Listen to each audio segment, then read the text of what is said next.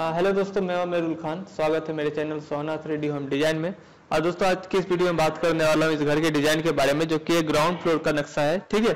और इसका घर पहले से बना हुआ है जो किसी ने इसका एक्सटीरियर डिज़ाइन किया हुआ है।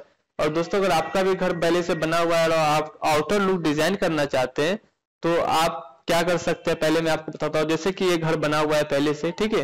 तो यहाँ पे देख सकते हैं इसका साइड का डिज़ाइन है तो ओके और यहाँ पे देख सकते हैं, पूरा घर मतलब यहाँ तक भी बन चुका है। और इसका थ्री डिज़ाइन जो है, सामने का लुकिंग बाद में हुआ है। तो यहाँ पे देख सकते हैं, इसका नक्शा है। आपको करना क्या पड़ेगा अगर आपका नक्शा नहीं है बना हुआ, और आप इस टाइप में स्केच कर सकते हैं, जो कि इस वाल से इस वाल का और यहाँ से यहाँ तक का, इस वाल तक। इसका मतलब सेंटर सेंटर से आपको जो है, पूरा डिटेल के साथ नापी ले लेना है, ठीक है? और यहाँ पे देख सकते हैं, सामने का भी डिज़ाइन का आप नापे ले सकते हैं, सत्रह फीट छह इंच है, फिर तेरह फीट नौ इंच है। इस हिसाब से आप सिर्फ़ डाल देना है कि किचन है, डाइनिंग हॉल है या क्या कहते हैं कि बेडरूम है, जो भी है, साफ्ट वगैरह जहाँ पे भी निकलेगा बाथरूम, इस टाइप में सिर्फ़ आप स्केच कर सकते हैं, ठीक है? स्केच करने के बाद आपको इस टाइप का डिज़ाइन आपको भेजना पड़ेगा, घर के फ़ोटो खींच के भेजना पड़ेगा कि आपको अगर थ्री डिज़ाइन करवाना है तो आप कैसे करिए ठीक है? तो उसके बाद देख सकते हैं कि इसका थ्री डिज़ाइन जो है, ये हुआ है, बन करके तैयार हुआ है। तो चलिए आपको मैं इसका थ्री डी एलिवेशन डिज़ाइन दिखाता हूँ।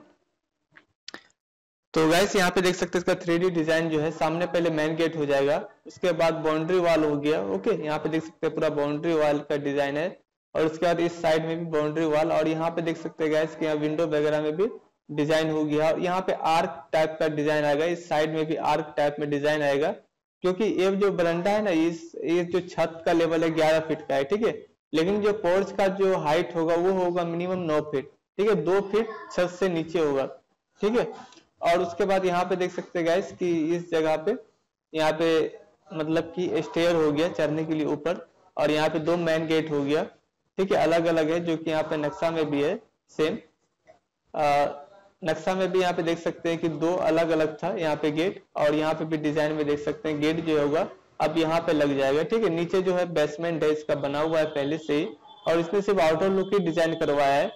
तो दोस्तों, अगर आपको भी मतलब इस टाइप का डिज़ाइन या थ्री करवाना हो तो आपको आप मेरा मतलब कि मेरा वहाँ पे फ़ोन नंबर है, आप वहाँ पे कॉल मैसेज कर सकते हैं इस नंबर पे। व्हाट्सएप मैसेज भी है कॉलिंग भी है।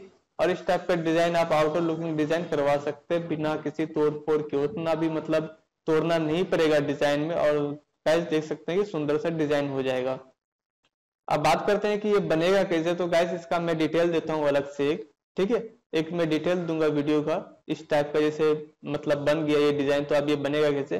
तो उसका मैं आपको एक डिटेल दूँगा, उस डिटेल के हिसाब से आपका घर का नक्शा वहाँ प्रॉपर बन जाएगा ओके तो गैस कैसा लगा वीडियो अच्छा लगा हो तो please like comment share and subscribe ज़रूर करिए चैनल को।